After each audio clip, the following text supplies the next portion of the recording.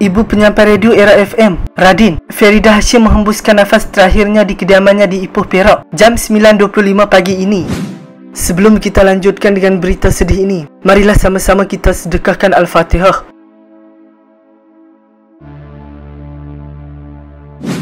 Kesihatan Allah Yarham Feridah merosot akibat penyakit paru-paru berair sejak beberapa tahun lalu. Berita pemergian arwah ibunya dikongsi Radin dalam laman Instagram pagi ini.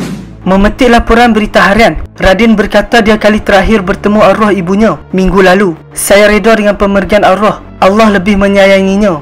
Arwah menghembuskan nafas terakhir di sisi adik-beradik lain. Saya sempat FaceTime dengan arwah sebanyak tiga kali semalam. Secara kebetulan adik-beradik dan anak saudara cakap arwah sebut nama saya. Arwah nak tatap wajah dan bercakap dengan saya.